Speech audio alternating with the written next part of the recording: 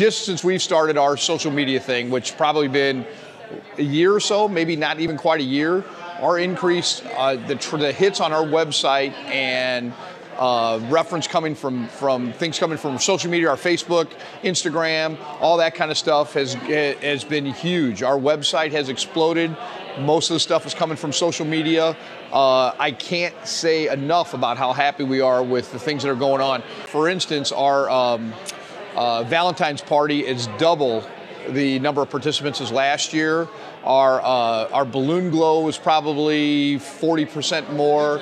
My, my fall activities, um, just in the year we've been working together, have increased almost 70%. So our, uh, I can't say enough about how happy I am with what's going on with my social media accounts and how much it's helped our business, directing traffic to our website, people finding out about us, uh, being able to put things out there that let people know where we're at and what we're doing and what's going on.